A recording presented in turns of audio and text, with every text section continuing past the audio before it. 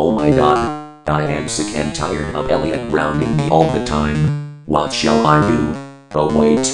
I'm going to make a grounded video out of Elliot just to teach that idiot a lesson. Ha ha ha ha ha ha ha ha ha ha.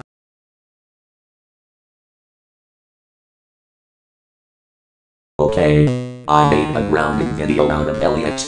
Let's watch it. Elliot Felding. You are so so so grounded grounded grounded for 60 years. What? Rachel. Come on.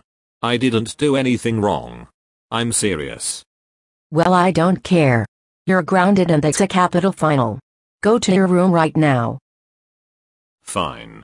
You're going to pay for this Rachel. Ha ha ha ha ha. Yes, that video was so funny. Evil Elliot. I heard you made a grounded video out of me.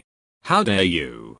You should know I'm non-troublemaker and I didn't do anything wrong.